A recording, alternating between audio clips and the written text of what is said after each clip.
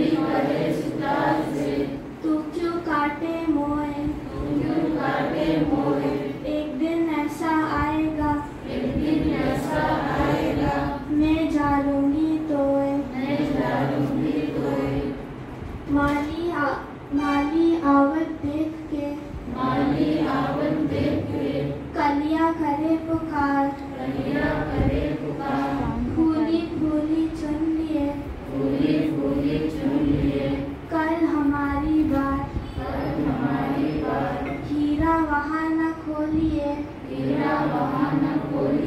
जहाँ है कोटी घर जहाँ है कोटी घर कसकर बांधो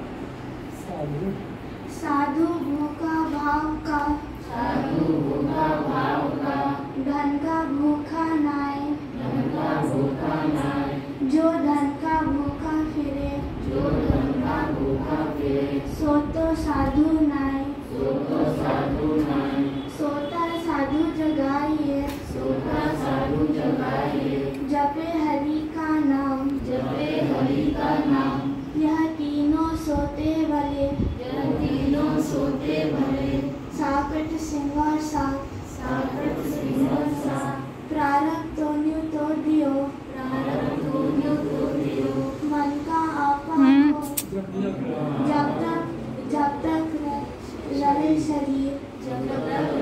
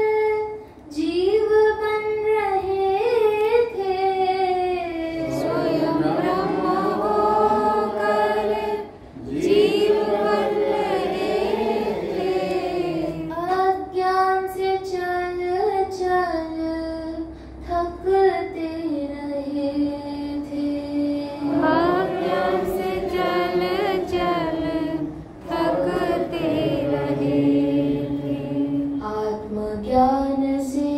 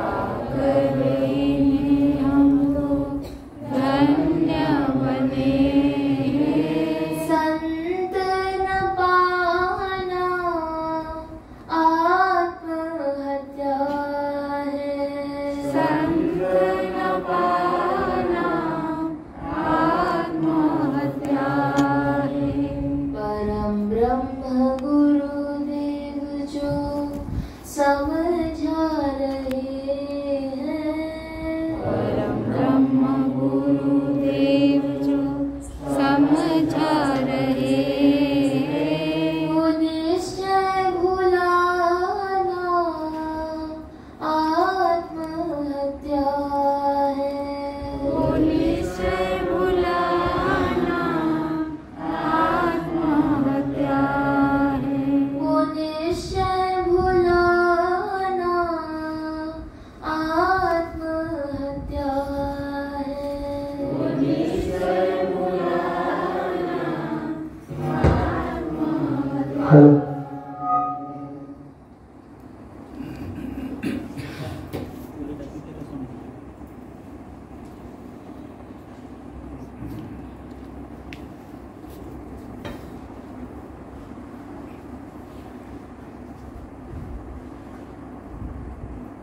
गुरुर्ब्रह्मा गुरुर्विष्णु गुरुर्ब्रह्मा महेश्वर। गुरु गुरु साक्षात्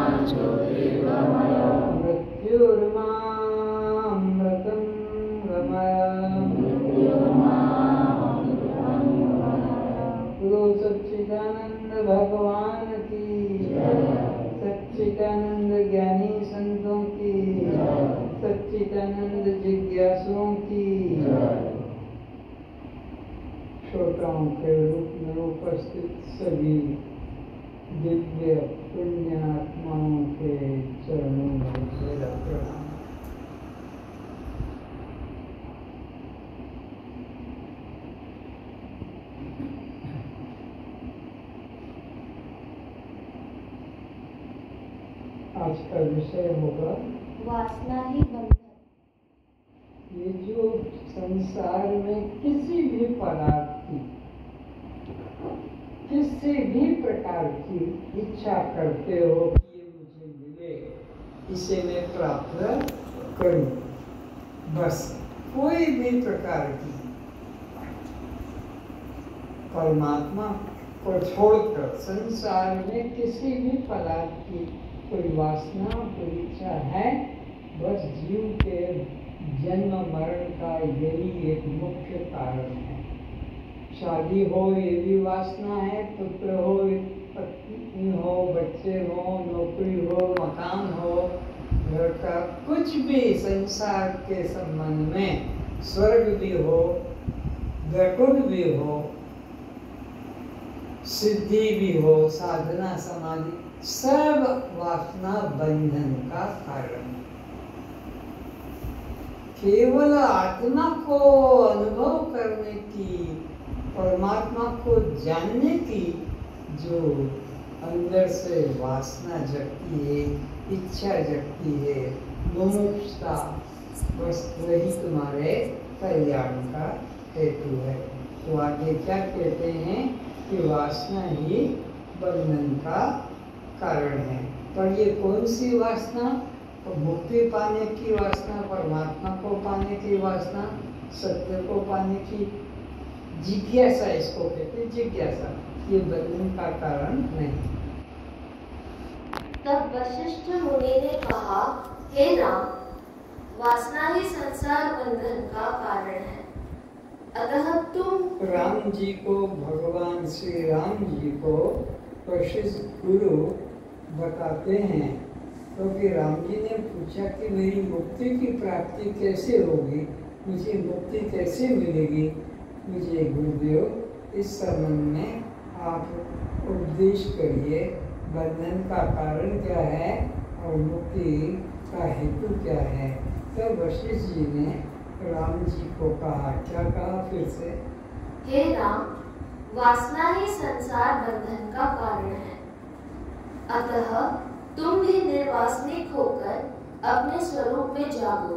तो एक ही बात बताई उन्होंने गुरुदेव ने वशिष्ठ जी ने कि संसार की कोई भी वासना अगर तुम्हारे मन में है कि ये हो जाए, ऐसा हो जाए, ये मिल जाए, वो हट जाए, इत्यादि। बस यही बंधन का कारण है। और किसी प्रकार की इच्छा न करना। वासनाओं से मुक्त, वासनाओं से रहित निर्वासनिक हो जाना, यही मुक्ति का हेतु है। तो वासना बंधन का कारण है और वासना हटा देना, मन से निकाल देना, क्या सोच के कि एक दिन दुख देगी, एक दिन ये दुख देगी जिसको मैं आज सुख के लिए सोच रहा हूँ, मिल जाए, आज में, मेरे को इसी से दुख मिलेगा। चाहे पुत्र पैदा करो, कि पुत्री पैदा करो, कि पति पैदा करो, कि पत्नी पैदा करो, कि कोई पद प्रतिष्ठा। जो भी तुम प्राप्त करना चाहोगे, वो प्राप्त पदार्थ ही दुख देता है।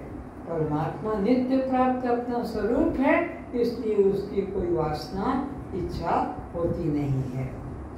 निर्वासनिक होना ही मुक्ति है, और वासना सहित जीवन बंधन है। और वासना सहित सभी का जीवन उसी में चल रहा है। बिना वासना के तो कोई व्यक्ति दिखाई नहीं पड़ता है।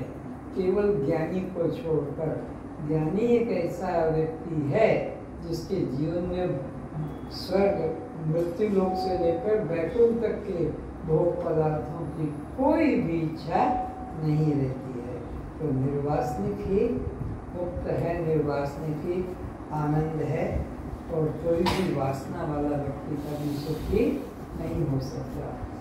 निर्वासनिक होना ही पुरुष का परम पुरुषार्थ है। तो